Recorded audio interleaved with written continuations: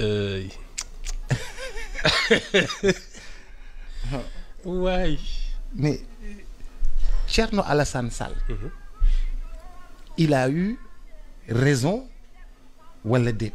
mais il a eu plus que raison c'est la loi la loi lii la wax. waaw waa léegi pour lan ñu bëgg a teggi la loi léegi? mais parce qu'ils se prennent pour ce qu'ils ne sont pas ñi dañu foog ni ñoom moom nit ñi mais tu sais pourquoi ils ont été virés en 2012 parce qu'ils ils pensaient que le Sénégal était devenu leur propriété privée. Et ba léegi ils ne s'en sont pas consolés. Ak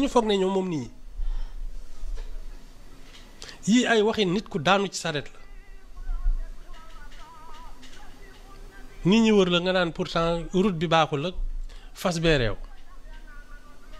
C'est tout. Non ouais.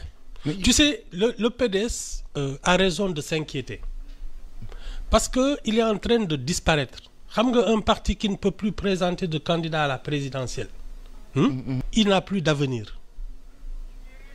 Ils s'accrochent comme ça parce qu'il faut exister sur la scène publique. Mais ils n'ont plus d'avenir parce qu'ils sont même pas capables d'avoir un candidat à la présidentielle depuis deux élections. C'est ça qui qui les affole.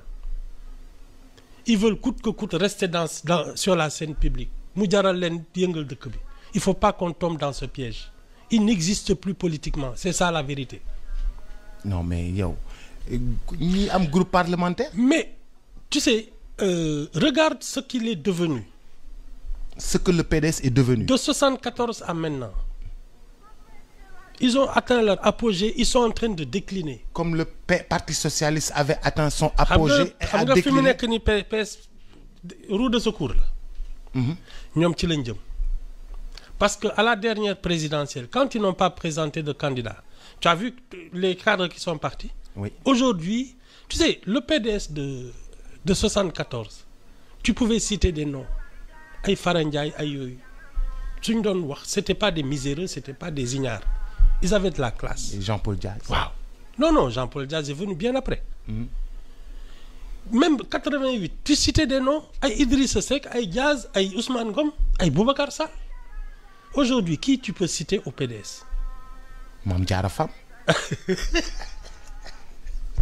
Ibu. Ibu. ah d'accord lan la ah d'accord lan la ah d'accord ah mais eh, elle tient le dragé à l'Assemblée nationale ah moo Oui, fi oui. des ah. ah xanaa musóor bi tagal bi la ñuy nettali. Non c'est ridicule. Mais Ibu man benn affaire